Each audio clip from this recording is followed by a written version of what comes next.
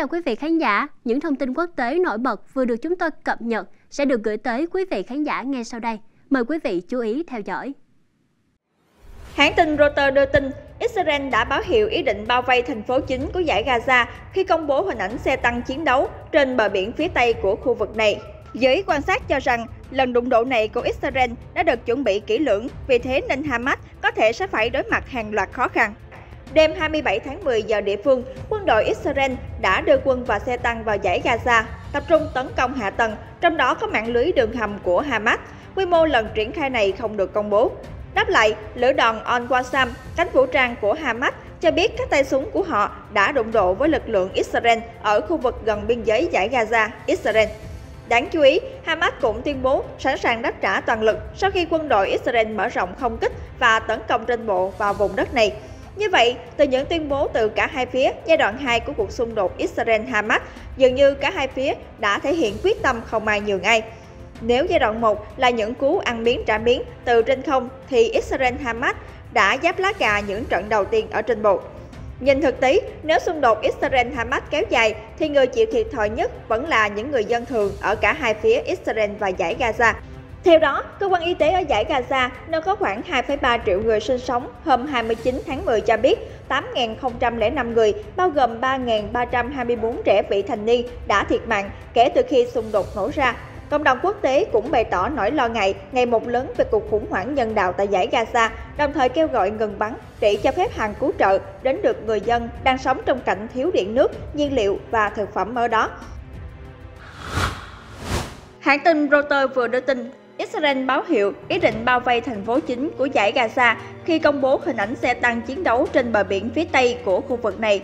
Động thái trên của Israel diễn ra 48 giờ sau quyết định mở rộng các cuộc tấn công trên bộ qua biên giới phía đông vào giải Gaza. Israel hôm 29 tháng 10 cũng tuyên bố giai đoạn thứ hai của chiến dịch chống lại phong trào Hamas. Ngoài các bức ảnh xe tăng của quân đội Israel, một số hình ảnh trên mạng Internet cho thấy các binh sĩ Israel vẫy cờ Israel ở sâu bên trong giải Gaza. Trong khi đó, phong trào Hamas cho biết họ đã bắn súng cối chống lại lực lượng Israel ở phía bắc giải Gaza và bắn tên lửa vào xe tăng của Israel, đồng thời xem nhẹ các báo cáo về những bước tiến mới của đối phương. Quân đội Israel thông báo máy bay chiến đấu của lực lượng phòng vệ Israel đã tấn công hơn 450 mục tiêu của Hamas, bao gồm trung tâm chỉ huy tác chiến, trạm canh gác và vị trí phóng tên lửa chống tăng trong 24 giờ qua.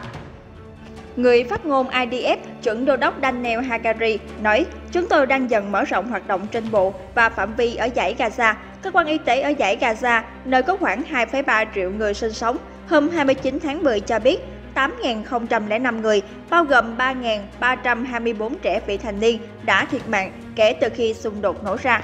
Theo Nhà Trắng, Tổng thống Mỹ Joe Biden đã nhấn mạnh sự cần thiết của Israel trong việc bảo vệ công dân của mình trong cuộc điện đàm với Thủ tướng Israel Benjamin Netanyahu hôm 29 tháng 10.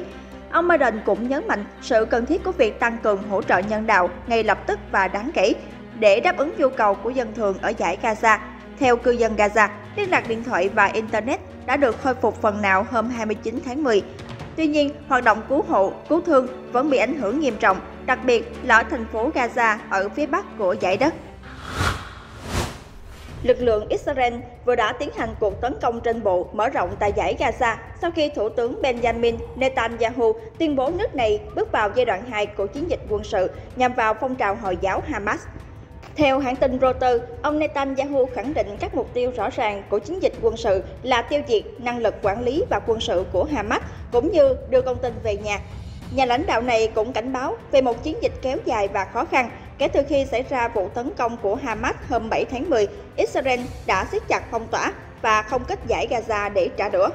Đêm 27 tháng 10 giờ địa phương, quân đội Israel đã đưa quân và xe tăng vào giải Gaza, tập trung tấn công hạ tầng, trong đó có mạng lưới đường hầm của Hamas. Quy mô lần triển khai này không được công bố. Đáp lại, lữ đoàn Al-Qassam, cánh vũ trang của Hamas cho biết các tay súng của họ đã đụng độ với lực lượng Israel ở khu vực gần biên giới giải Gaza, Israel. Hamas cũng tuyên bố sẵn sàng đáp trả toàn lực sau khi quân đội Israel mở rộng không kích và tấn công trên bộ vào vùng đất này. Các nước phương Tây nhìn chung ủng hộ điều mà họ gọi là quyền tự vệ của Israel. Tuy nhiên, cộng đồng quốc tế cũng bày tỏ nỗi lo ngại ngày một lớn về cuộc khủng hoảng nhân đạo tại giải Gaza. Đồng thời, kêu gọi ngừng bắn để cho phép hàng cứu trợ đến được người dân đang sống trong cảnh thiếu điện nước, nhiên liệu và thực phẩm ở đó. Tình cảnh của họ càng thêm tồi tệ khi các dịch vụ Internet và điện thoại bị gián đoạn từ đêm 27 tháng 10 theo sau các đợt không kích của Israel.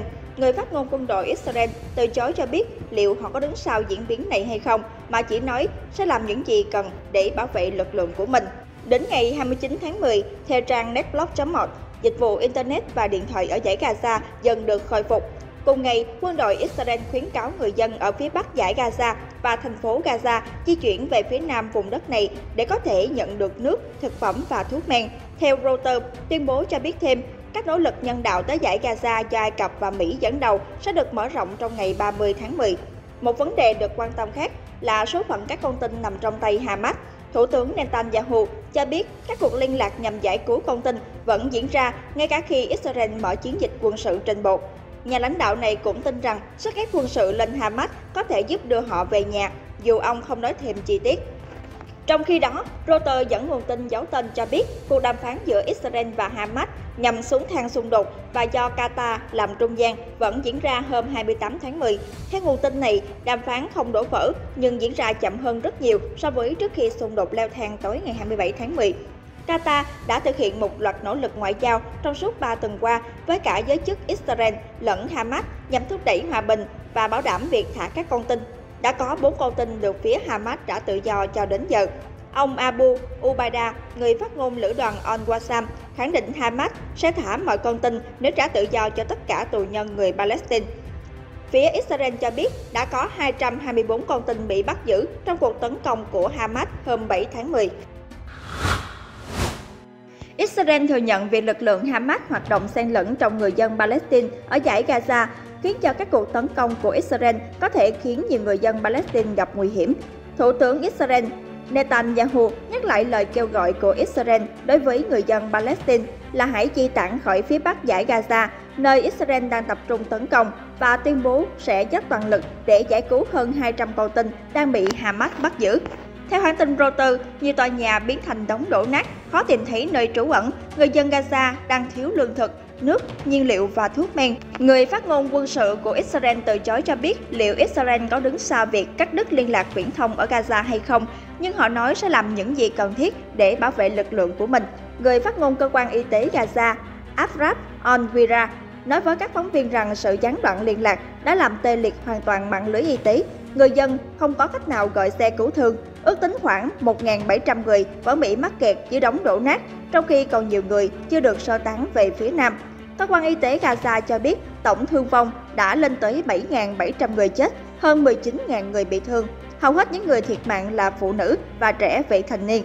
Tại thành phố Cairo, Tổng thống Ai Cập Abdel Fattah el-Sisi cho biết chính phủ của ông đang nỗ lực giảm leo thang xung đột thông qua đàm phán với các bên để thả tù nhân và con tin.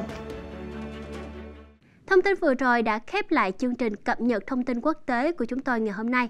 Quý vị và các bạn đừng quên nhấn chuông theo dõi và đồng hành cùng chúng tôi ở các khung giờ để cập nhật những thông tin mới nhất. Xin kính chào và hẹn gặp lại quý vị và các bạn ở những chương trình tiếp theo.